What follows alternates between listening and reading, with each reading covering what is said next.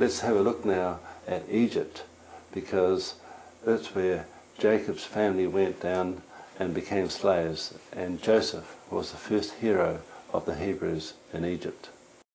Here is where we find the statue of Pharaoh Zoser, under whom Imhotep served. It was on the base of this statue of Zoser that Imhotep was mentioned as a man, not as a god. He was first after the king, with his cartouche shown here. At the complex of buildings, the main hall is of importance to us. It was here and in other locations in Egypt that Joseph saved his country from famine. In Joseph's day, as one entered the building, they would make their way down this hallway to purchase grain. There would be many cashiers available for customers of various languages to trade for the much-needed food. The famine was all over the face of the earth, and Joseph opened all the storehouses and sold to the Egyptians. As we exit the hallway through the area in the rear, we see over on one side a series of deep structures where grain was stored underground during the seven years of plenty. Then over the next seven years, it was sold to the Egyptians and visitors from other countries. And so these Mesopotamians took with them their ability to work with stone and they built those great silos with Joseph there, for example.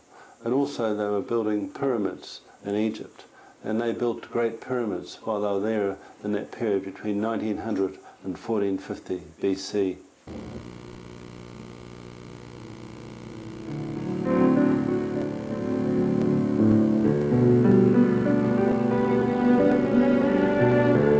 Allowed to construct one of these machines on a pyramid, he demonstrated to the head of the Department of Antiquities in Cairo, Nasif Mohammed Hassan, its operation. Mr. Hassan then showed Ron some pieces of wood they had stored, which they had believed were parts of a boat. But when they tried to assemble them, they couldn't. So they simply placed them in storage. As they examined these pieces, they now knew what they were.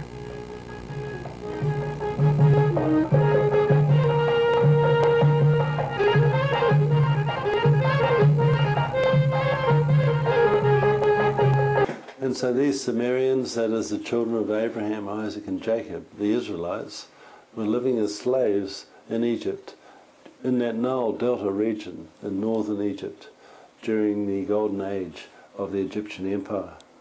And they brought with them their agricultural techniques and also their livestock from Mesopotamia and also their ability to build boats and to fish and to be good stonemasons and also to read and write. And in particular, they had a book called the Book of Yasher, which means the Book of the Righteous, which records the history of Noah and Abraham and the children of Israel while they were in northern Egypt. And this book was found in a tomb in Thebes, and it was taken back to America and it was translated by the Latter day Saints. And it's interesting that this book of Yasher is actually referred to in the Old Testament in the books of Joshua and also Samuel, not the book of Genesis, just this book of Yasher.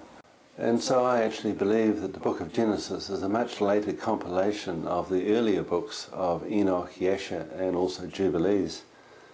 And in particular, in the book of Yasher, the history of the Israelites while they're captive in Egypt is provided. And for example, it says that the Pharaoh was reasonably good to the Israelites after the seven years of famine and the seven years of plenty that Joseph was involved in.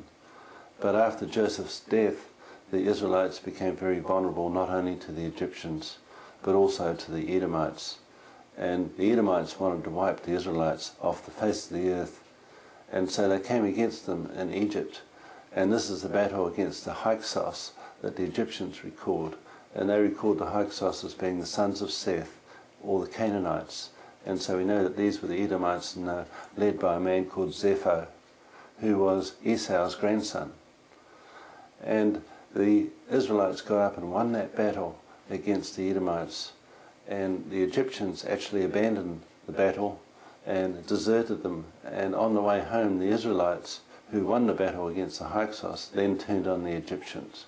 And this is when the events of the book of Exodus began to take place. And Pharaoh's daughter went down to the Nile and found Moses among the bulrushes and took him back to her household and named him after her father, who would have been Ahmose. And he lived until around about 1525 BC, although some people think it was longer. And that was exactly 80 years before Moses crossed the Red Sea in 1446. And we know this, remember, from the book of Kings, the first book of Kings, chapter 6, verse 1, where it says that Solomon's temple was built 480 years after the coming out of Egypt by the Israelites. And so that year was 966 BC, and so we have this chronology which goes right back and which ties up with Egyptian chronology. And not only did they bring with them their agricultural techniques and their stonemasonry techniques, but they also brought with them the religions of Canaan. And of course, we know what we saw in Sodom, for example, with those statues and also the pyramids and the same things were being built down in Egypt. And we also have other archaeological evidence in the form of the El Amarna tablets, and they are dated to the year 1380 BC, which means they confirm the Old Testament. And this would have been the time that Joshua was clearing out the land and making way for the Israelites to occupy the land of Canaan. And so, according to conventional Egyptian chronology, the pharaoh at that time in 1380 BC would have been Amenhotep III, who was part of the same dynasty as Ahmose and Thutmose. And so let's have a look at those pharaohs, and we'll have a look at Wikipedia, for example, to see what they say about them very quickly. And in particular, I want to look at their mummies so we can have a look to see what they really look like. And so here we have Ahmose I, who was a boy when he became a pharaoh. And then he was superseded by Amenhotep I. Then there's Thutmose I, who would have lived in the same house as Moses in the Pharaoh's household, who's the son of Amos. And then there's Thutmose II, and both of these pharaohs have these elongated skulls. And then there's Hatshepsut, who was a female pharaoh, and she was the mother of Thutmose III, and it was Thutmose III who saw his chariots go into the Red Sea and be covered over by the waters. Uh, here we have Amenhotep II, and he's not such a good looking fellow either. And have a look at him. He's quite a strange fellow, isn't he? He looks like a part reptile. He's superseded by another Thutmose. And we have a look again and we see another Amenhotep. And this is the, the pharaoh that was there when those tablets were written. And now we get on to the Tutankhamun pharaohs who are part of the same dynasty. And some of them look quite alien as well. Have a look at the shape of their heads. And so that's Tutankhamun and what he looks like.